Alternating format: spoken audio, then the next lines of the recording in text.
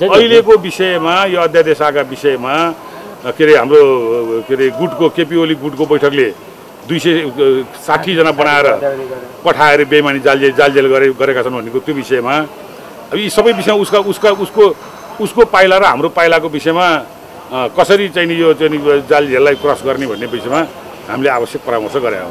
हामीसँग बिस पर्सेन्ट है तिस चालिस तिस चालिस पर्सेन्टै छ। सायद त्यो बिस पर्सेन्ट महेन्द्र ठाकुरजीको लागि सजिलो पार्न ल्याएको होला। छैन हामी हामी अहिले निर्वाचन जाने कुरो छैन हामी परामर्शमा छौँ। केपीको कदम अब विभाजनतिर लानको लागि जोडबल उनले गरिरहेका छन्। हामीले अन्तिमसम्म प्र- प्रयत्न गर्ने भनेको प्रयत्न गरिरहेका छौँ। अघि मैले भने आजै राति उनी सुध्रे भने त्यहाँसम्म गइरहनै परेन हामी। होइन उनी यही अहिले यथास्थितिमा उनी जहाँ छन् त्यो स्थितिमा हो भने हामी आवश्यक प्रक्रिया सुरु गर्छौँ। आवश्यक प्रक्रिया सुरु गर्छौँ त्यसपछि हामी।